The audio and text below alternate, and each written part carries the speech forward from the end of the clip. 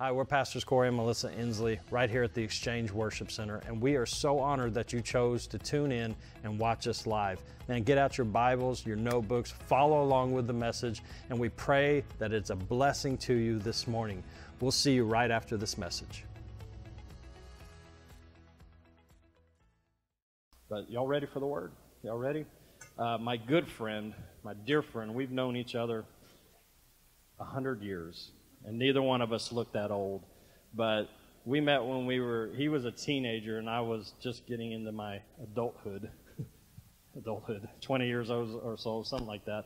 And I literally ran into him. And how can you miss him? I mean, he's eight feet tall and white as can be. How can you miss him?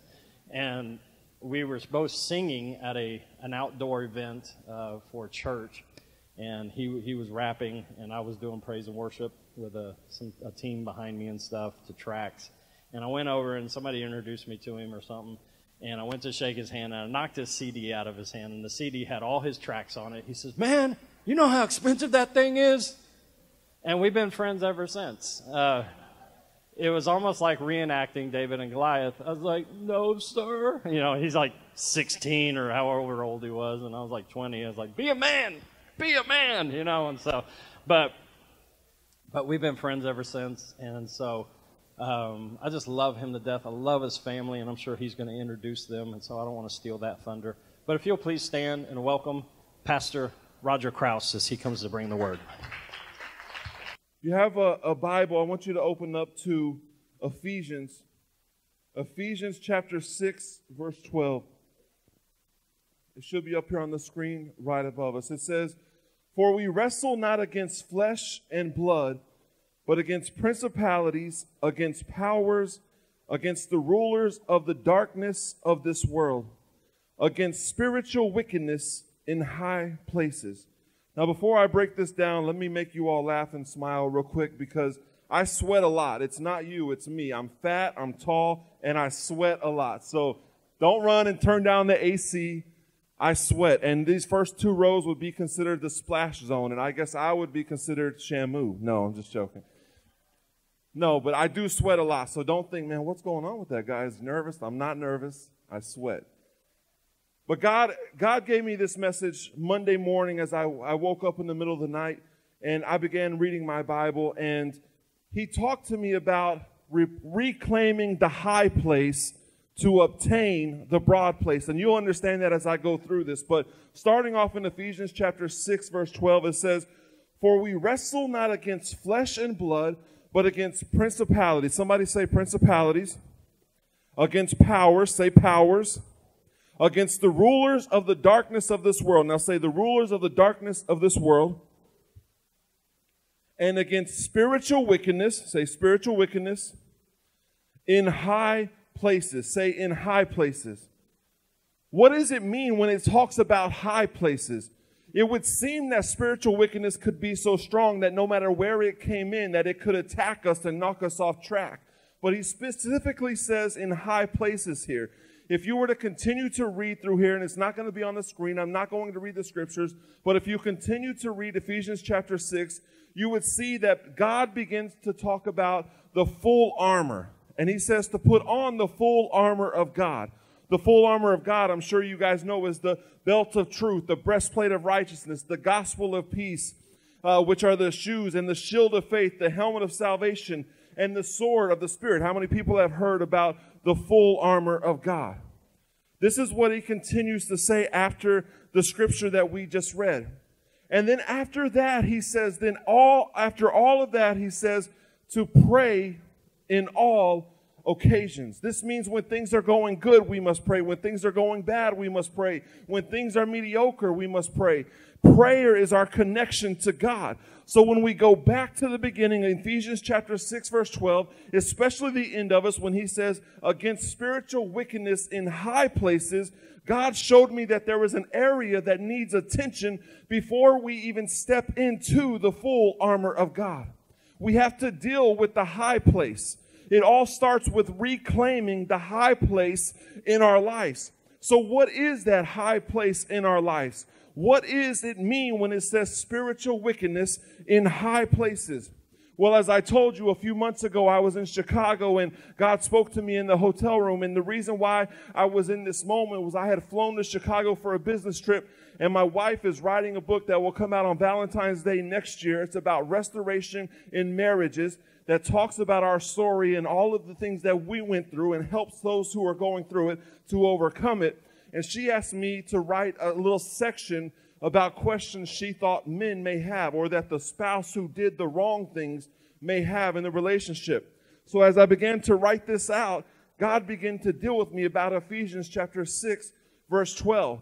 And what he spoke to me specifically concerning Ephesians 6:12 was the very last part against spiritual wickedness in high places. So this is what I felt like he impressed upon me whatever wickedness, whatever it is, whether it's lust or whether it's pride or whether it's greed or whether it's envy or whether it's jealousy, whatever it is, if we allow it into our lives, even at the smallest amount that we can think of, even if it's just a small amount of pride that we open up the door to, it can come in, it can grow up, and all of a sudden it can take over the high place. So, what this means is that it becomes so powerful in our lives that it begins to control us. You see me keep going like this when I say the high place because I truly believe that whenever sin creeps in, it's because we thought we could deal with it. Our mind took over and we said, it's okay to go to this place just for the night. Or it's okay to involve myself in this situation or this relationship or this act of sin just for the moment because afterwards I can go back and I can live with grace and I can ask for repentance and everything will be all right. But what we don't understand is that the devil has even used the word of God against us to deceive us, to take that chance or what we would think as an opportunity to sin and then just to tell us that it's going to be okay. God's got you. It's going to be all right. But what we have to understand is that the devil, the thief in John chapter 10 verse 10 says that he comes in to steal, to kill, and to destroy us. He doesn't come in to just to just uh, say, okay, you can sin tonight and be back in the arms of God tomorrow. He comes in to take control. The high place, I believe, starts off with our mind. It comes in and it takes, it takes over and we think about the sin and we involve ourselves in the sin thinking that we can conquer it and that we're okay doing it. But he's saying that there is spiritual wickedness in high places. Whatever that wickedness is that comes into your life can rise up to the high place. It can take a higher position than God in your life. This is what he's talking about when he says in high places.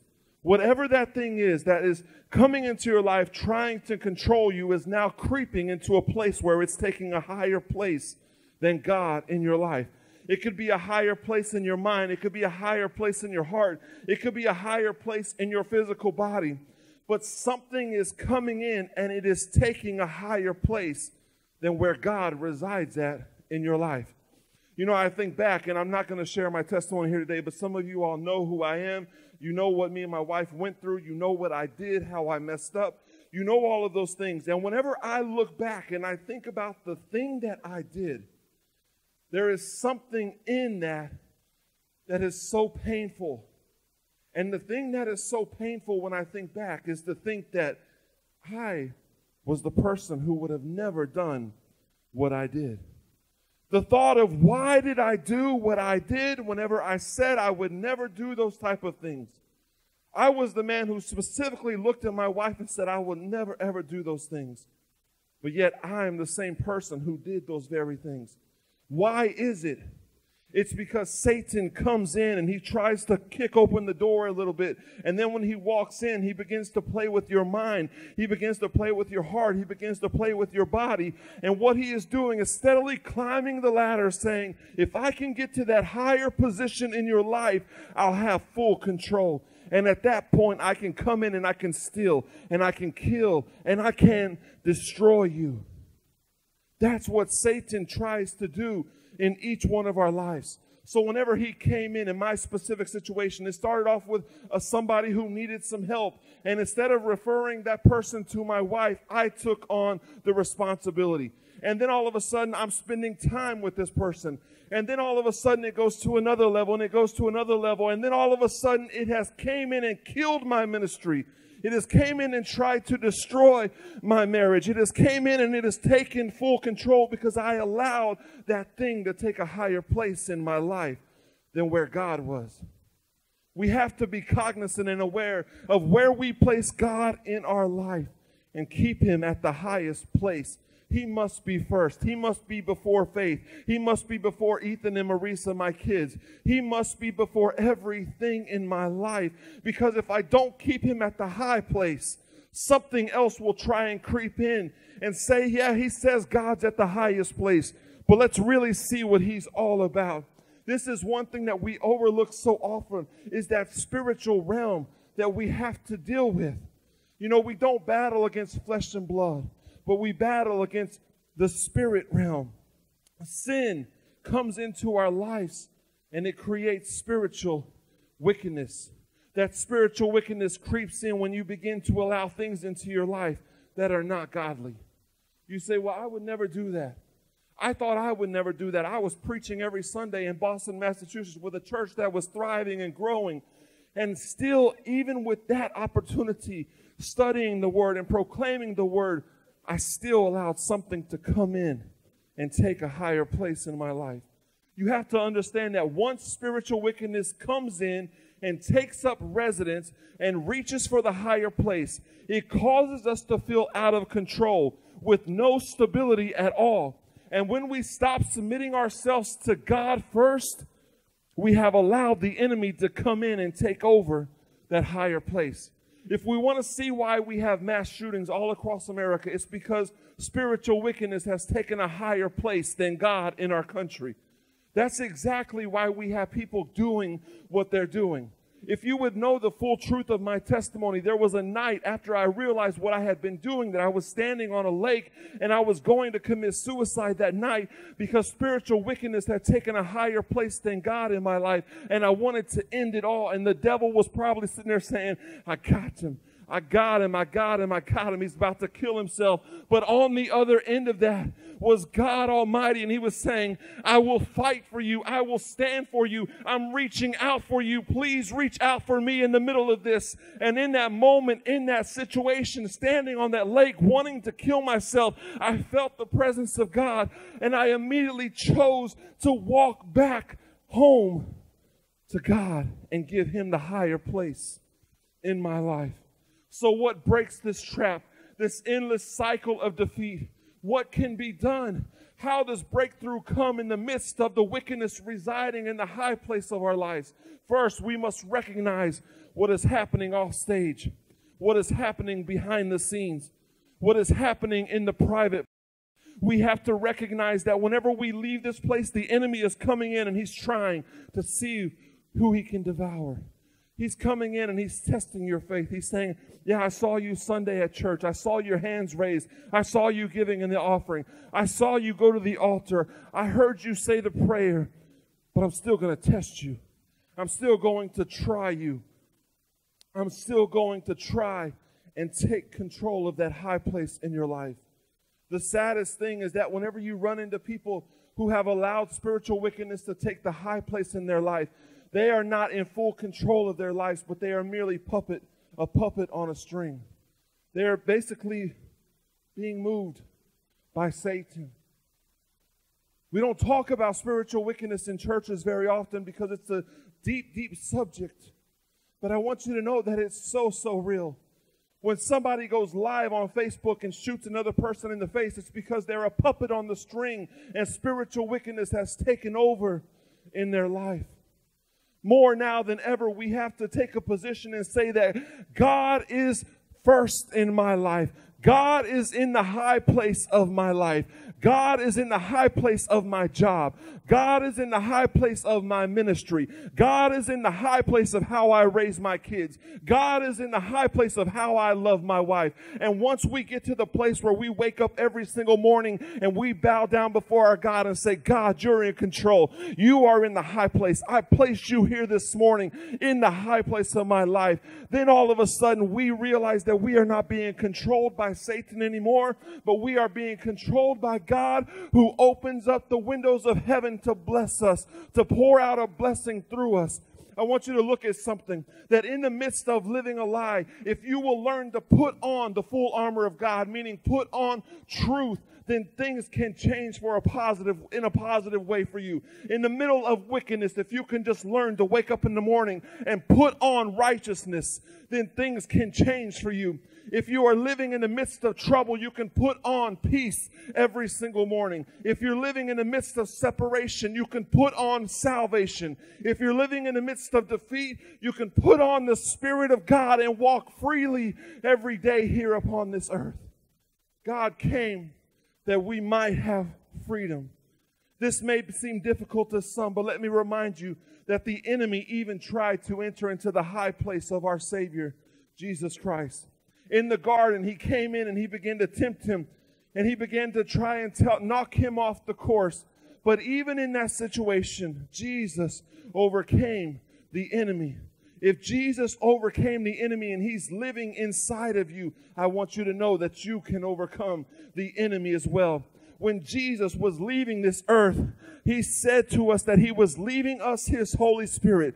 And that same Holy Spirit that came and broke the spiritual wickedness upon this earth back then, when he took the weight of our sin upon his back, and he said, Eli, Eli, lama sabachthani, my God, my God, why hast thou forsaken me? And they put him in the tomb, and the Holy Spirit rose him from the dead. That same Holy Spirit is now residing with you, and it can cause you to overcome anything. Death, hell, and the grave are no match for you if you have the Holy Spirit living inside of you. My God is a waymaker. He holds all power and authority. My God is an addiction breaker. If you're struggling with some type of addiction, God is an addiction breaker my God, He defeated, defeated the devil and He has provided a way out of captivity and a way into your freedom. But you got to let Him work on your behalf and you have to place him at the high place. You have to activate him in your life. Yeah, you've accepted him, but have you activated him? Unleash him in your life, in your dry season, in your broken marriage, in the addiction to drugs or alcohol, into your depression. Activate God. Bring him on the scene. Don't just believe in God, but open up your arms and activate him into your situation. Activate God in your high places. You might be asking me how. Well, if you were to continue to read Ephesians chapter 6, you would see that he's telling us to put on truth, to put on righteousness, to put on peace, to put on faith, to put on salvation, and to put on the Spirit. You see, God provides all that we need, but he tells us to put it on. Salvation is him giving us a free gift. Overcoming everything in our life is us giving it back to God and saying, I'll put on the full armor of God every day of my life. Once we do this, understand that freedom is just around the corner. The Bible says that weeping may endure for the night, but hold on, because joy is coming in the morning. I don't want you to get into a, a, a, fight and think that you're, you're fighting this thing out on a physical level when you really need to be fighting it out on a spiritual level. And that brings me to the second point that I feel led to share with you today. So this is talking about reclaiming the high place, high place. But now I want to speak to you about obtaining the broad place. Does anybody know what I mean by broad place? If you think you have an understanding, just put your hand up. Let me see it. The broad place. Just say the broad place. The broad place. The broad place is a place that is wide open. It's a place that has no limits. It's a place to where whenever you look at it, there are no boundaries. A broad place is something that is large, something that has been enlarged. I want to read this verse in, in Job chapter 36, verse 16. And it, go ahead and put it up on the screen above me. It says, Even so would he have removed thee out of the strait into a broad place. Out of the strait and into a broad place where there is no straitness, and that which should be set on thy table should be full of fatness. Whenever you talk about being full of fatness, that means that nothing is being held back from you. God is blessing you and blessing you and blessing you and blessing you. God is making a way where there seems to be no way. He's coming into your life and you feel like you're being trapped in a straight situation. And He's saying, I have a broad place for you. Maybe come up here real quick. Let me take this off and illustrate it. While I'm taking this off, everybody say straight place. So put this on me and tie the arms around my back.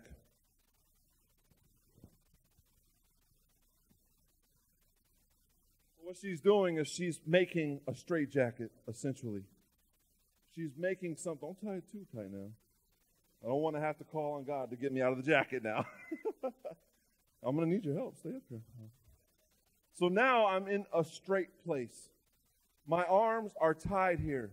If I want to go reach for the Bible or for my iPad here that has the Bible on it, it's a little more difficult than having full range of motion. I'm not in a broad place where everything is available to me. I'm in a straight place where I'm limited on what I can do. What we often do as people is we physically react to this and we start going like this. How am I going to get out of the straight jacket? How am I going to get out of the straight place? And we start to try and flex our muscle and we try and break free from it. And we start thinking, okay, well, if I remember what happened on MacGyver back in the day, I can maybe go like this and, and pull something and get free from it. Or if I can just get to my phone and watch a YouTube video on how to get out of a straitjacket, it would work.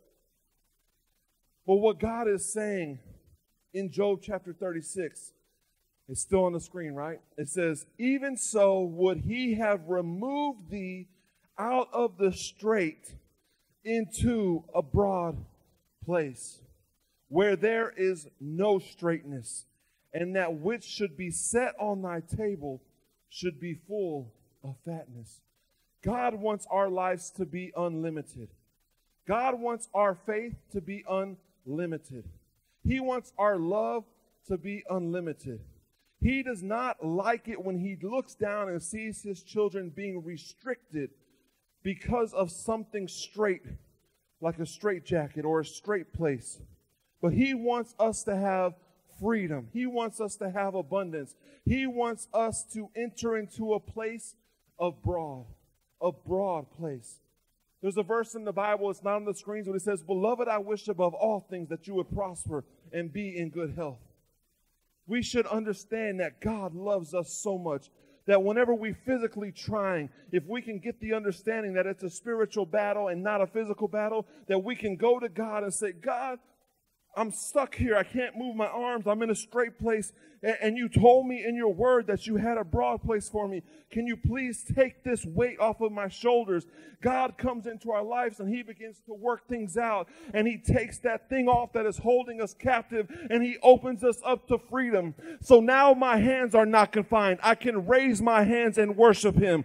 I can lift up my heart and say, God, here I am. Put, I'm putting you back in the high place. No longer am I being bound by something that is constraining me but that thing has been tossed to the side. And here I am, all alive in Jesus Christ. And I am entering into a broad place, a place without limits, a place to where whenever I feel a little bit depressed, I can freely reach for the Word of God because my arms aren't bound. My mind isn't bound. My heart isn't bound. Nothing is bound whenever God takes us into the broad place. Job, we just read out of the book of Job. Job, you have to understand, Job was an upright man. Job was on fire for God. Job was a family man. Job was a wealthy man. Job was always bragging on God and what God did for him. But what you have to understand is that Job found himself in a situation that he never expected to be in.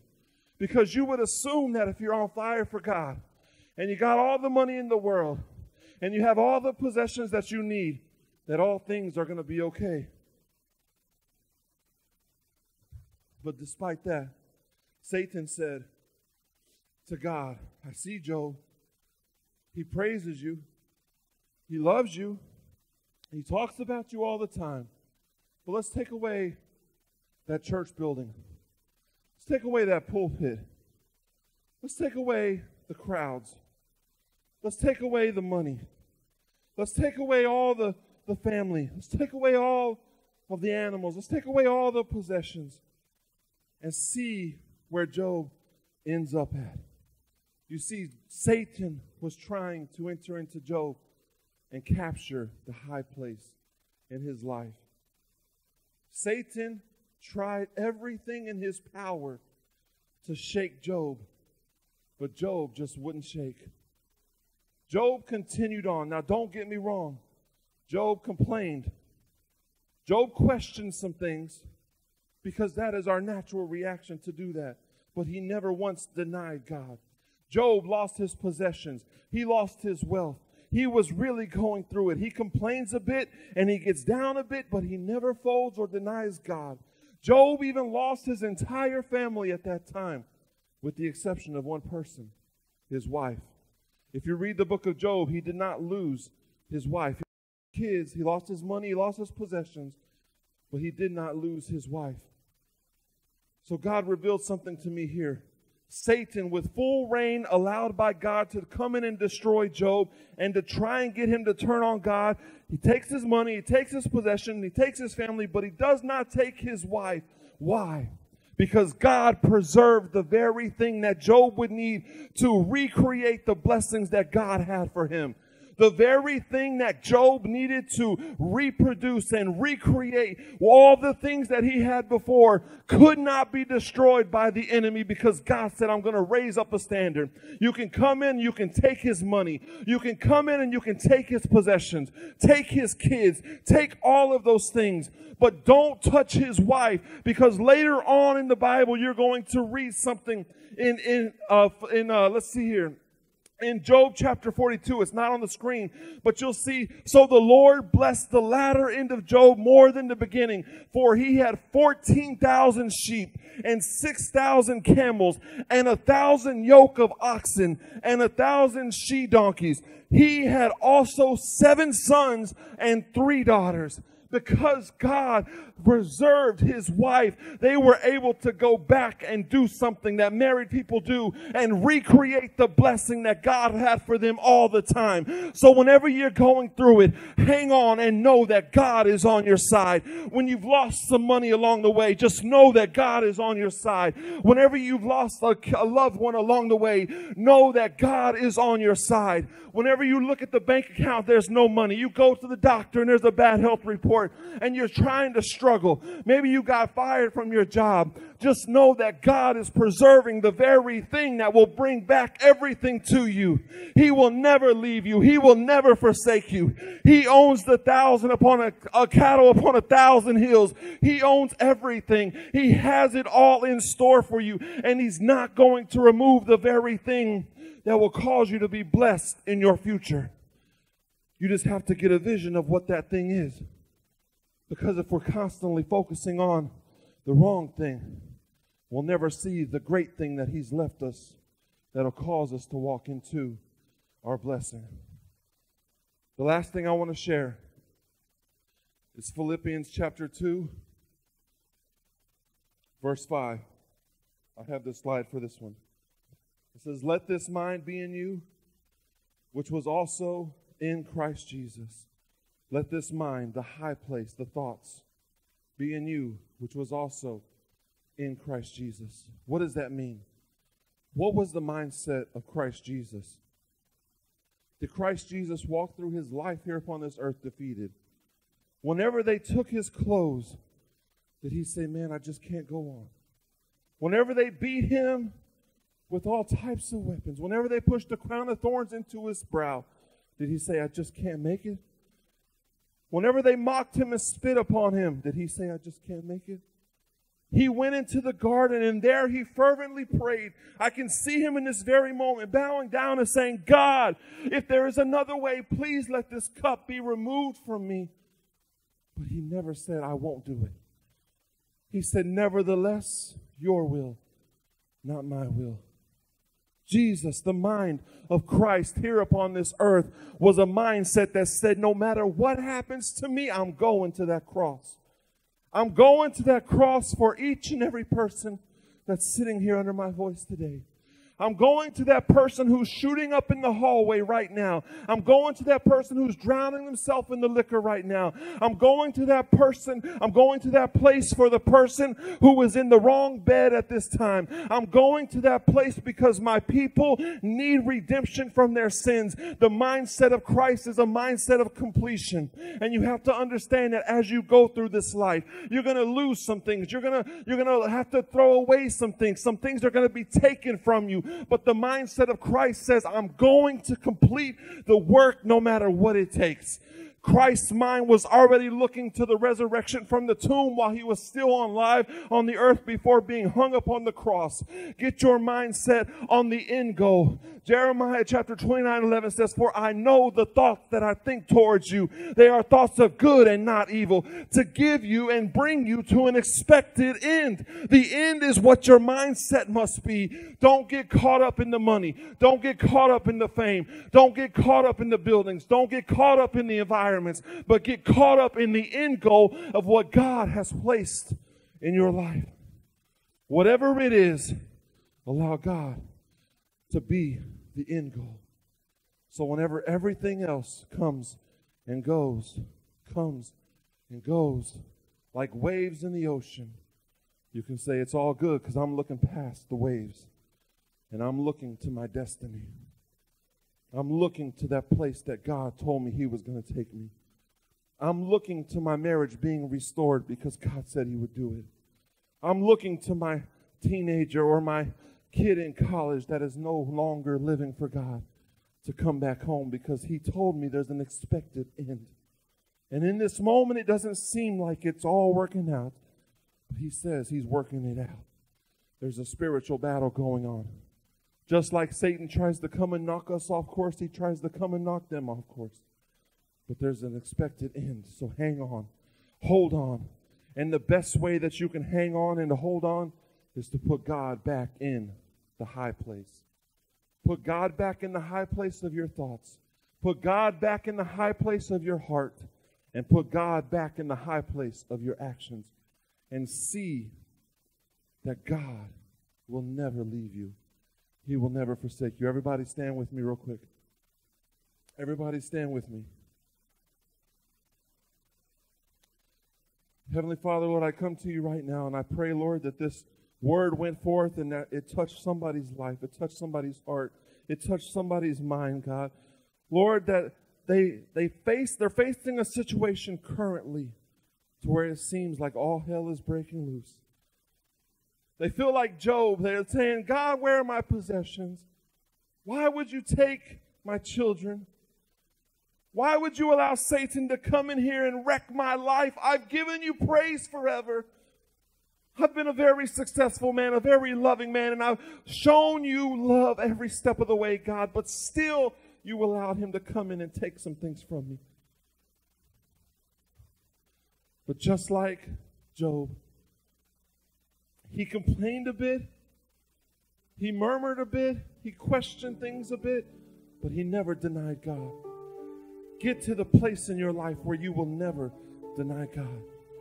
And then when it's all said and done, you can look back and say, yeah, devil thought he won there. He took all of these things, but he did not take Job's wife. I want to propose to you here this morning as the music is playing softly in the background. I want to encourage you and I want to engage you to look around for that one thing that God has not allowed to be taken away from you. And that one thing will cause you to return to the place of that blessing. Hey everyone, thank you for watching. Man, we pray that this message was a blessing to you. We pray that it did something inside of you, encouraged you, and inspired you for greatness in the things of God. If you're ever in the Corpus Christi area, come check us out at the EWC. We're located at 6801 Weber Road. And if you feel like God is calling you to be a blessing to this ministry, go on our website, There'll be some instructions on there to help you out. Otherwise, we love that you joined us. We'll see you next time right here at the EWC.